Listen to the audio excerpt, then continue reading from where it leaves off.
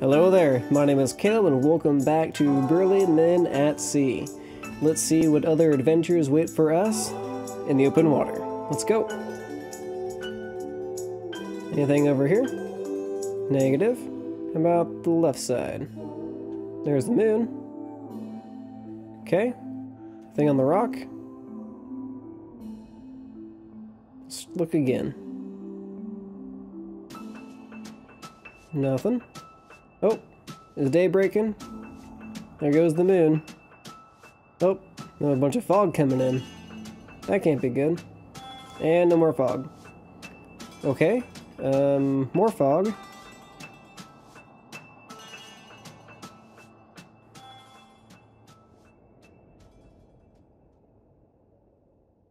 Hello?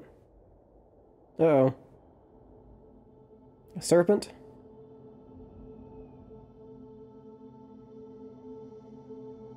Well met, bearded travelers. The voice is deep, musical. Er, hello, stammers Brave Beard, wonder apparent in his face. You've seen much this day, she continues, smiling. The men nod, unnecessarily. Yet, you have not seen all.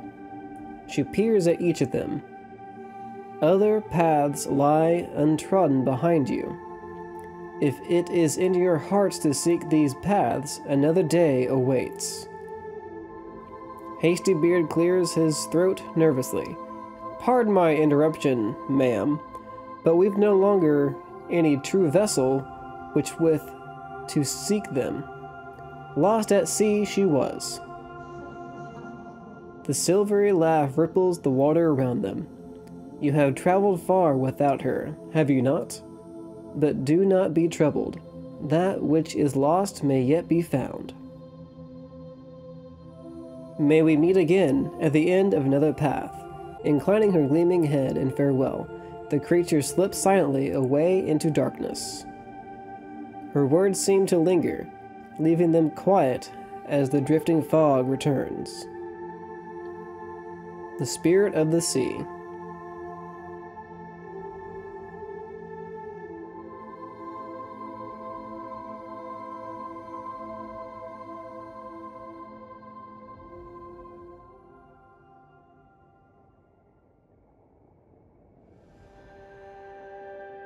So now what?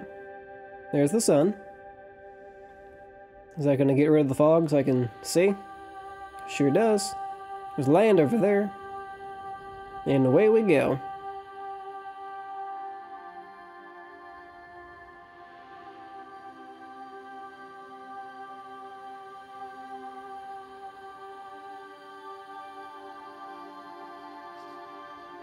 Alright, onward. Was uh, some penguins. That sounded weird. What else is on this island here? Some regular birds. Oh, a moose. It's a big moose. It's a really big moose. Can I talk to the moose? Okay. Not much to say there. Ooh, a house. Anybody live on this deserted island? Guess it's not deserted if anyone lives here. Let's go inside.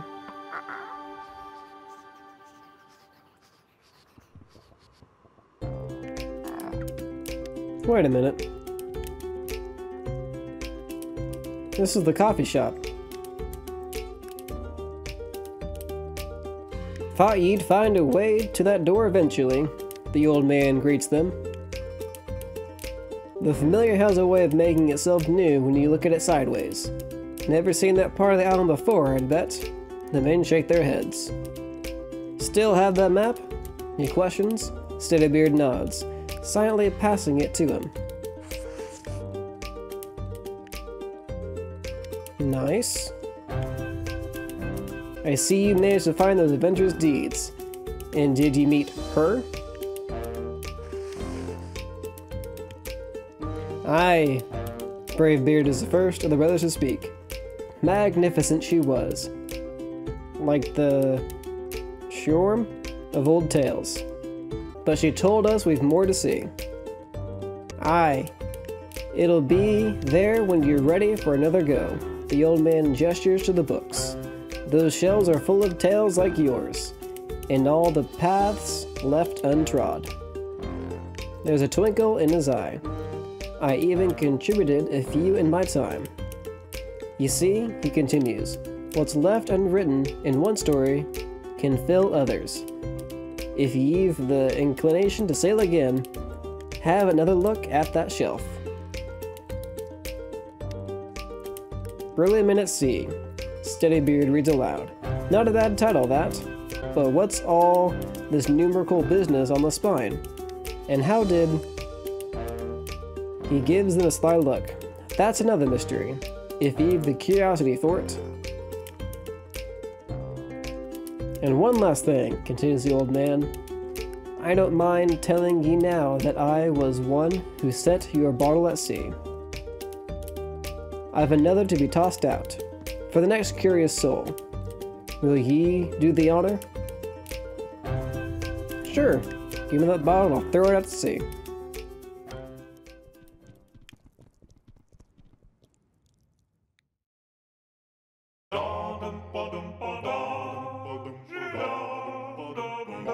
Well, this is a good game. Um, I'll let these roll through, then I'll say about doing a uh, another run through. See if there's anything different for the second go around. Be right back.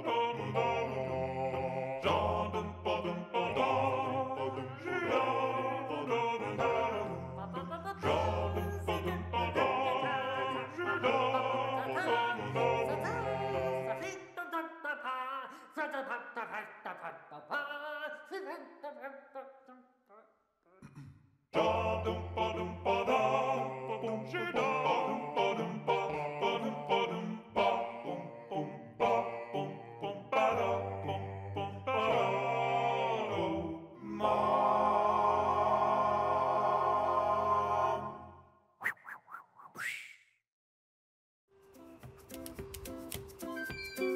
see about throwing that bottle out into the sea.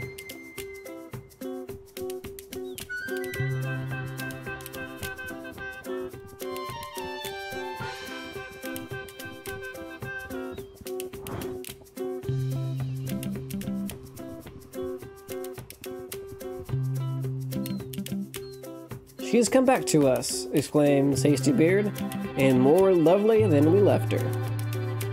Courtesy of Barnacled Transport Service Incorporated. Reads Steadybeard from a notice on the side. Why, that great blubbery bellyache did a good deed. That was good on the whale. Off we go.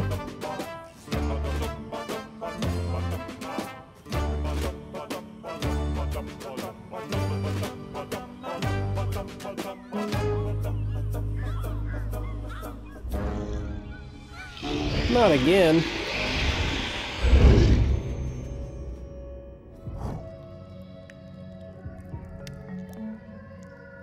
Be welcomed, wayward pilgrims, speaks one of the nymphs, for who can resist the majesty of the great barnacled one? So it is that we awaited your return. Hard to resist when you're sucked down like a clam in stew, growls Brave Beard. The Great One journeys this way daily, so that through him all may one day find the place of promise. Predictably, the nymphs trade nods of approval. Will you wait with us here by the fire, or is it the way of the faithless you seek?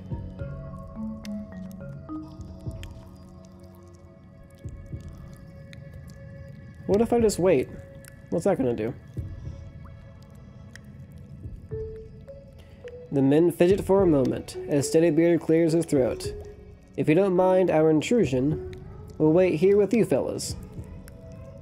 Sit, friends. For those who follow the Great One, there is no mind. Aye, that's the plain, grins Bravebeard, and the three men sit. There is a silence, and the nymphs begin to speak in turn. Within the Great One, there's... I missed that. Great One's kindness is as... Go ahead, an eye. Genetically modified potatoes. The men begin to nod off, and catching only pieces of the nonsensical exchange as they fall into a deep sleep.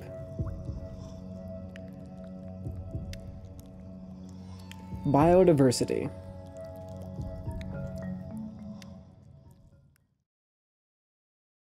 Final stop. Please exit through the front with your belongings. That's cool.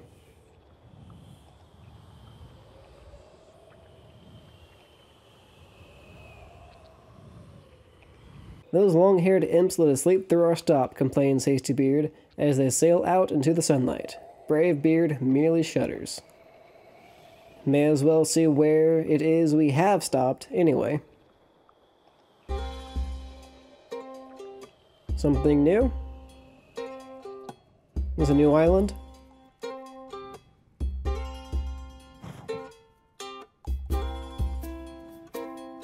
Nothing that way. I guess we can go that way. Nothing of interest? Alright. Let's go this way. The tall structure.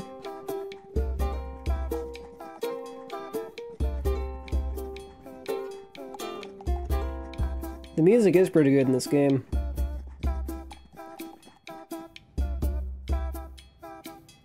Nothing that way? Alright, can we talk to the bird maybe?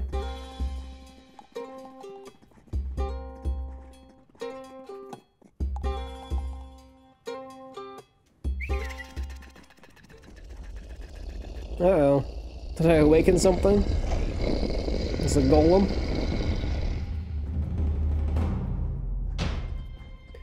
Great lumbling land rats, exclaims Brave Beard, edging away. Stop! The voice is deep and aged as the earth itself. Men and rock stand staring at one another. Moments pass before the creature speaks again. You are small. Something about the naivete of his statement seems to ease them in. You're rather large yourself, tries Bravebeard hesitantly. Thank you, rumbles the small mountain simply. Would you like a flower? I am quite good at flowers. Oh, we don't want to be a bother, begins Hasty Beard in fact, but the creature is already turning. Okay, am I getting a flower? Or maybe I will fetch three. Rumbling happily to itself, the geological oddity thunders away. The men breathe sighs of relief. Well, that was weird. Go see where it was going?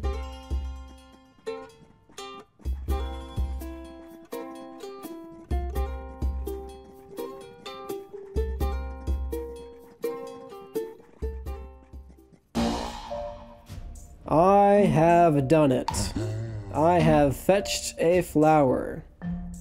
The men turn reluctantly from the enticing safety of their boat to face the returning earthquake. Gently, the massive stone fist placed before them what appears to be an upended tree. Why, thank you, gushes Hasty Beard, elbowing and snickering Brave Beard. What a nice flower. The creature beams. Um.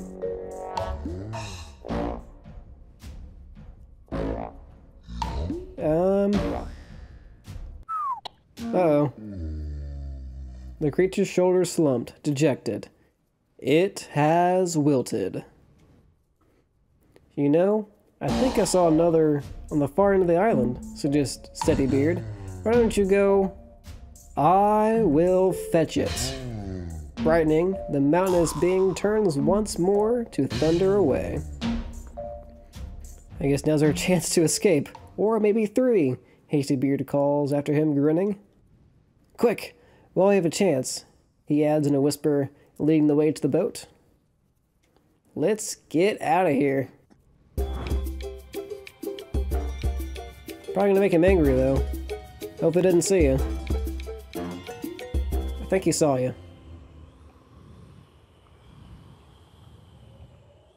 Are we home free? We good to go? Looks like it. What do we have here?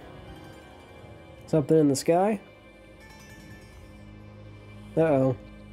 Maybe a storm?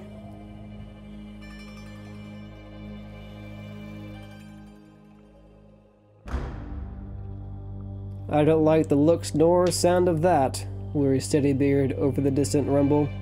Rather be fetching flowers with the walking rock pile on dry ground. Are these the doldrums? Storm? This won't end very well.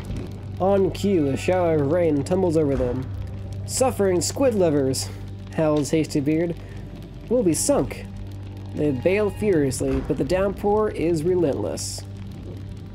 Through the eerie gray, they seem to hear the faint keening of wordless song.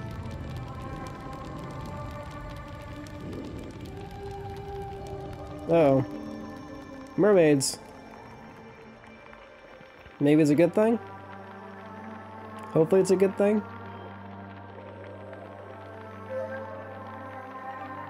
They're clearing the way for us. That's awful nice of them. Uh-oh. A flash of lightning suddenly illuminates their surroundings. Woman folk, yells Brave Beard. There are woman folk in the water. His shout is followed closely by a splash hasty, as Hastybeard jumps in. Well, that was weird. Of all the kelp-headed half-wits, a second splash halts Steadybeard's analysis of the situation. Sighing deeply, he dives after them. This probably won't end very well. Finding the dark, empty water, the men quickly regret their course of action. I would hope so.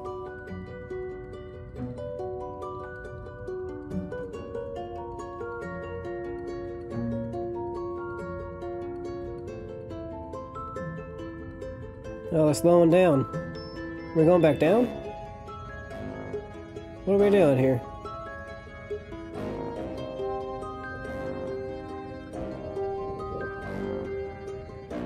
A narwhal. Okay. Jellyfish. Hope that big one didn't come back. What's your uh, plan of action there, guys?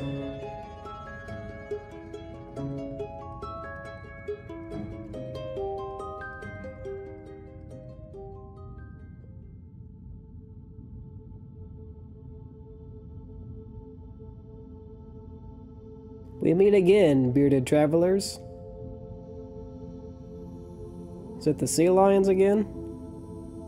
Or seals? Nope. That serpent thing.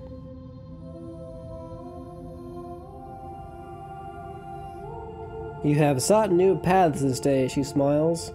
The mid nod, unnecessarily. Yet still others lie untrodden behind you. Her gaze is deep, searching. It is well for you to bear the look of those who would seek them. May we meet again at the end of another path. Inclining her gleaming head, glimmering head, in farewell, the creature slips silently into away into the darkness.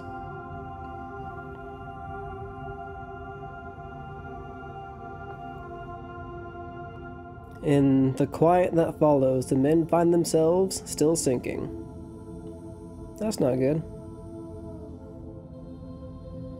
Surely they're out of breath by now.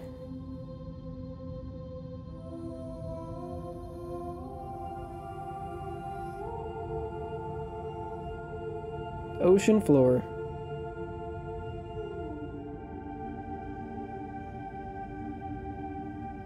These guys must be supernatural beings to hold their breath this long, or they're breathing underwater by now.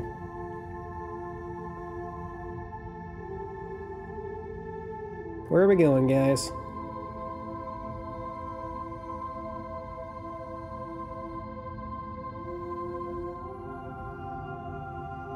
Or we're going back up to uh, ocean level.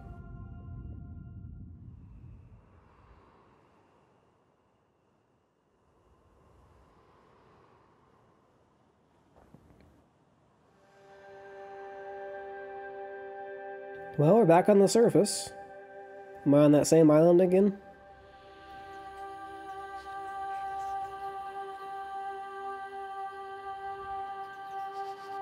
Looks like it. These guys have anything to give me? Guess not. Okay.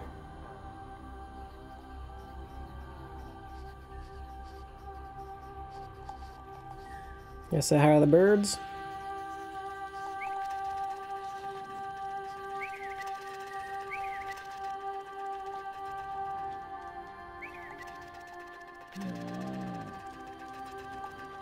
Alright, I guess we're gonna go back into the coffee shop and see what that old man has to say about this adventure.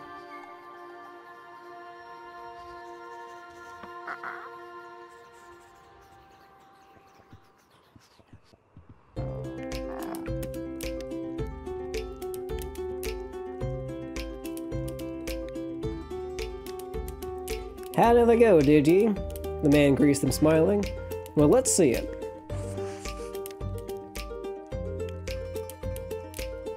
Aye, he sighs. Beautiful that is. As they turn to the shelf, he nods. I'd wager there's room for more up there.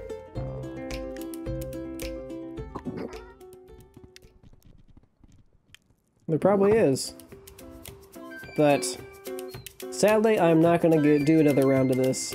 Um, I really do enjoy this game. It's got really good music to it, and I guess good storyline if you want to call it that. Uh, my name is Caleb, this has been Burly Men at Sea, and thank you for watching.